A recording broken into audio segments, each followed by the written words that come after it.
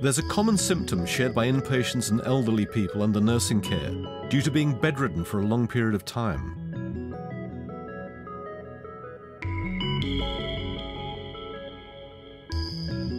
The skin exposes the muscles and inner tissues. This is a pressure ulcer, more commonly known as a bed sore.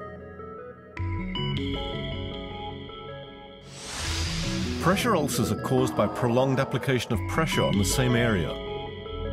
The blood vessels in the soft tissues between the bone and the skin become compressed, cutting off the blood supply and causing tissue death. In serious cases, the damage extends to the bone.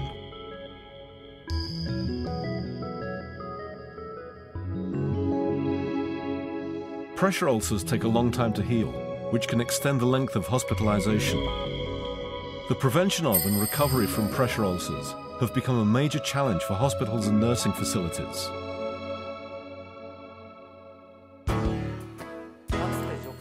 Previously, pressure ulcers were seen as a problem with nursing care, often blamed on the caretaker's failure to turn the patients regularly. However, due to the increasing recognition of nutritional therapy, there's been a shift in awareness for the treatment of pressure ulcers among medical professionals. There are more and more cases in which the wounds caused by persistent pressure ulcers are healed, or the occurrence itself is prevented by providing nutritional support from the inside, in addition to the nursing care from the outside.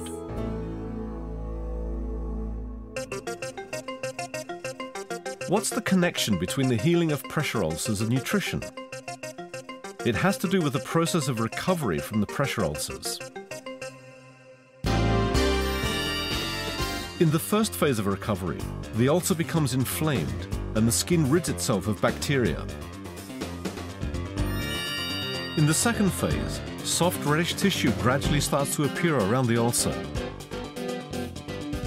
This is called granulation tissue.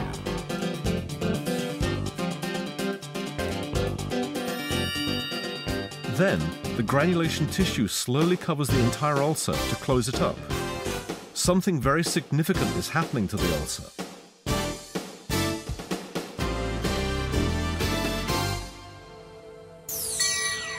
When granulation tissue forms to cover the ulcer, cells start to gather from inside the body. These cells are called fibroblasts.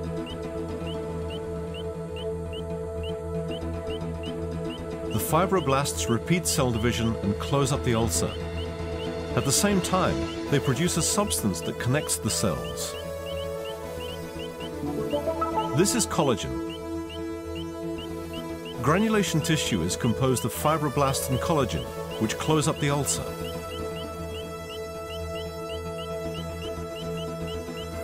This is how nutrients are deeply involved in the proliferation of granulation tissues.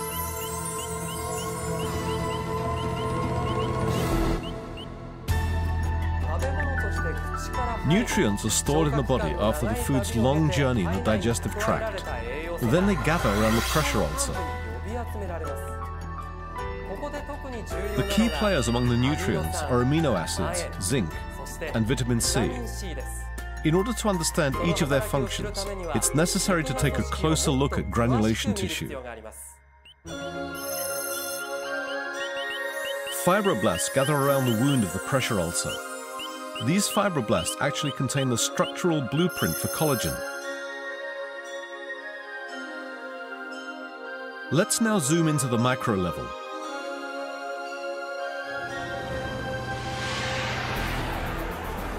Located inside the nucleus of each fibroblast is DNA, which holds the blueprint for collagen. In order to produce collagen, the blueprint in the DNA must be transcribed and be taken out of the nucleus. The transcription process is carried out by an enzyme called RNA polymerase. One of the most crucial nutrients for this process is zinc.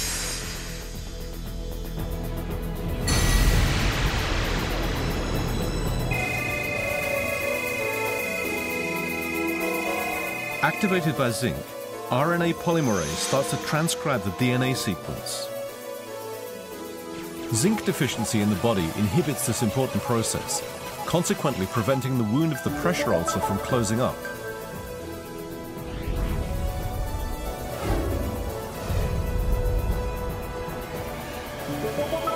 The transcribed blueprint leaves the nucleus and moves to the site where the amino acids are connected in the specified sequence.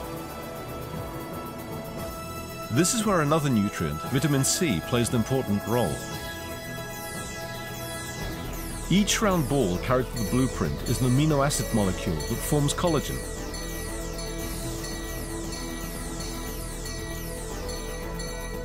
These amino acids connect with each other to form a chain-like strand. Over 60% of the strand of collagen is composed of the amino acids glycine and proline.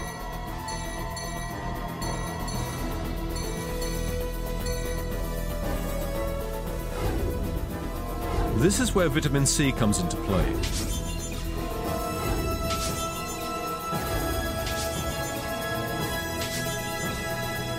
Part of the proline is converted to hydroxyproline by vitamin C. This conversion is what stabilizes the structure of the strand. Three tight strands of amino acids intertwine like a rope to give collagen its distinctive and flexible quality. If it wasn't for vitamin C, which converts proline, this tight three-strand structure would not be possible. In other words, a vitamin C deficiency inhibits the production of collagen in the wound area, significantly slowing down the recovery process. Recovery from pressure ulcers has been made possible only through the body's natural healing mechanism, supported by proper nutrition.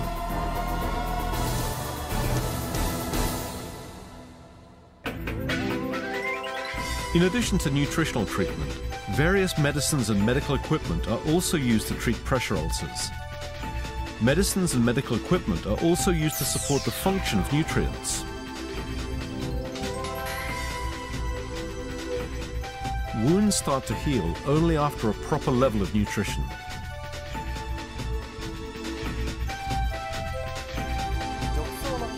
The production of collagen that closes up the wound of pressure ulcers involves the synergistic action of amino acids, zinc and vitamin C. In other words, prolonged recovery from pressure ulcers may be attributed to deficiency of these nutrients.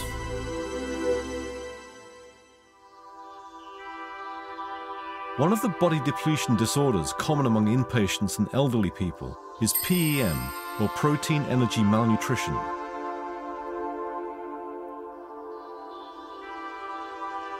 PEM is caused by an unintentional reduction of amino acid intake due to a decrease in appetite often seen in hospitalized people or those of advancing years. On top of that, the amino acids in the body become depleted due to the healing process of wounds.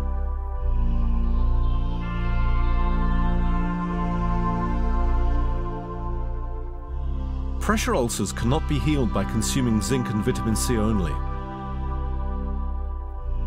The prevention and recovery of pressure ulcers are not possible without the intake of sufficient energy and protein.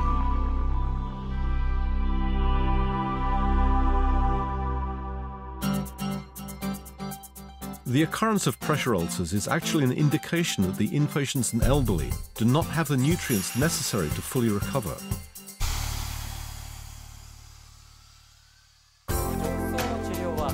The treatment of pressure ulcers is referred to as wound healing.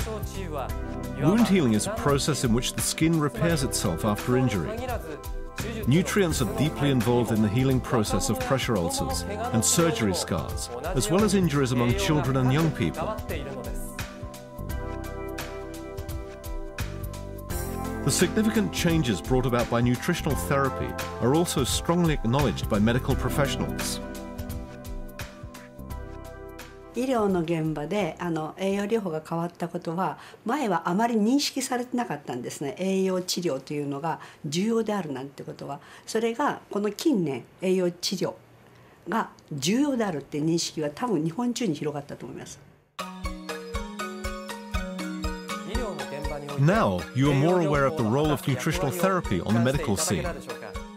However, there is one big obstacle to overcome. That's dysphagia.